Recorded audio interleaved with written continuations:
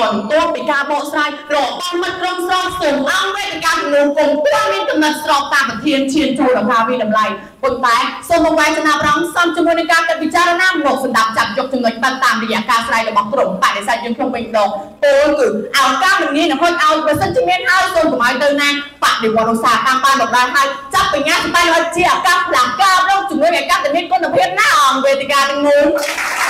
ពីគេចាប់ដើមខ្ញុំបានសូមសម្ដែងការប្រតិកម្មថ្នាក់ដឹកនាំគណៈកម្មការនិងអង្គវេទិកាទាំងនោះជាទីក្រុមខ្ញុំបាទឈ្មោះសុវណ្ណរដ្ឋវិរៈជាបេក្ខជនទី1នៃក្រុមបដិសេធសូមឡើងមកធ្វើការបដិសេធទៅលើប្រធានបទចំនួន1ដែលគេបានលើកឡើងថាការរៀបចំណាត់បញ្ញាសិប្បនិមិត្តធ្វើឲ្យសិស្សានុសិស្សខ្សោយការកាត់ពិចារណាយ៉ាងណាមិញដើម្បីជាត្រីវិស័យក្នុងការចង្អុលបង្ហាញការបកស្រាយខ្លឹមសារនៃប្រធានបទខាងលើឲ្យកាន់តែមានន័យនិងបោះបាយឈ្ងុយជាប់ទៅនោះជាបឋមអនុញ្ញាតរូបខ្ញុំបានលើកយកពីកលឹមមួយចំនួនមកបញ្យល់ជំនួនសិន បច្ចៈបញ្ញាសិប្បនិមិត្តគឺជាបច្ចេកវិទ្យាដែលអនុញ្ញាតឲ្យគ្រឿងម៉ាស៊ីនកុំព្យូទ័រមានសមត្ថភាពរៀនគិតនិងយកវិភាគលំនាំតាមសមត្ថភាពភពបានមនុស្សនេះបើយកតាមមជ្ឈមណ្ឌល4.0ចំណែកពាក្យពិចារណាវិញគឺជាការត្រិះរិះនេះបើយកតាមវចនានុក្រមខ្មែររបស់សម្ដេចព្រះសង្ឃគ្រាជូណាតដូច្នេះប្រធានខាងលើមានន័យសេចក្តីជារួមថាការកើនឡើងនៃបច្ចេកវិទ្យាដែលអនុញ្ញាតឲ្យម៉ាស៊ីនកុំព្យូទ័រមានសមត្ថភាពរៀនគិតធ្វើឲ្យសិក្សានុសិស្សខ្សោយការគិតត្រៀងរិះដើម្បីក្តាប់បាន ណែជាមួយក្រុមសាក្នុងការបដិសេធប្រធានរបស់ខាងលើក្រុមបដិសេធយើងខ្ញុំសូមពងនាំតែលហើយក៏ដល់រឹងមាំមហាមានជំ3ដើម្បីអង្គរួនវេទិកានិងជាអត្តពលទៅដល់មនុស្សក្នុងប្រទេសប្រទេស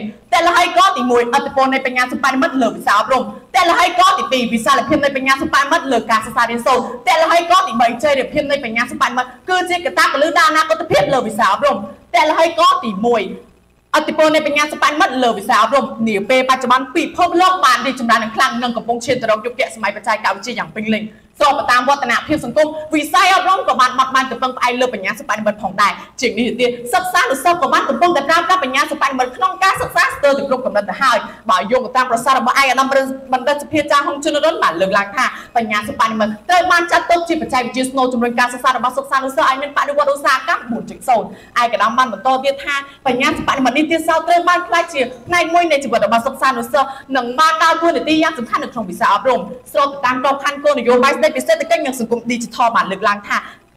ការងារការងារកាន់តែកើនឡើងដែលទាមទារជំនាញបច្ចេកវិទ្យាបញ្ញាសិប្បនិមិត្តក៏មានកាន់តែច្រើនឡើងជាមួយវិញទៀតបើយោងទៅតាមសារព័ត៌មាន BTV បានលើកឡើងថាការងារចំនួន2.3លានសម្រាប់សិក្សានុសិស្សនឹងត្រូវបង្កើនឡើងនៅក្នុងតំបន់អាស៊ានដែលទាមទារជំនាញ Digital ផ្សារភ្ជាប់ទៅនឹងជំនាញបញ្ញាសិប្បនិមិត្ត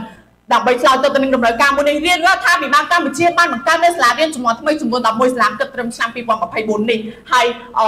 បើយោងទៅតាម បើយើងដើម្បីឆ្លើយទៅនឹងយុទ្ធសាស្ត្របច្ចេកកម្ម4.0គឺសិក្សានុសិស្សជាចំណុចអត្ថប្រយោជន៍បច្ចេកវិទ្យាបញ្ញាសិប្បនិមិត្តពិតជាមានតួនាទីយ៉ាងសំខាន់នៅក្នុងវិស័យអប់រំហើយបើយោងទៅតាមក្រសួងប្រៃសណីនិងទូរគមនាគមន៍បានលើកឡើងថា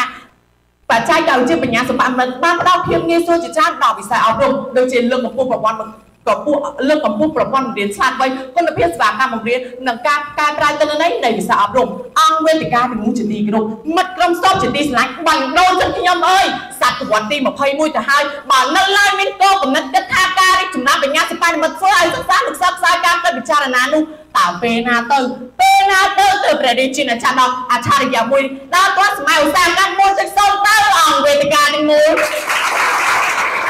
ជាចុងក្រោយខ្ញុំបាទសូមសំណូមពរដល់រាជរដ្ឋាភិបាលនៅតែបន្តបញ្ជាបញ្ញាសម្បត្តិមកចូលទៅក្នុងវិស័យអប់រំដើម្បីឲ្យការអប់រំនៅប្រទេសកម្ពុជាមានការរីកចម្រើនទៅទៅមុខទៀតហើយខ្ញុំបាទនៅតែបង្កើនគោលចំហរដ៏រឹងមាំតែដោយសារតែលោកប្រទេសបាត់ខាងលើដដែលសូមគោរពអរគុណនិងសូមអរគុណ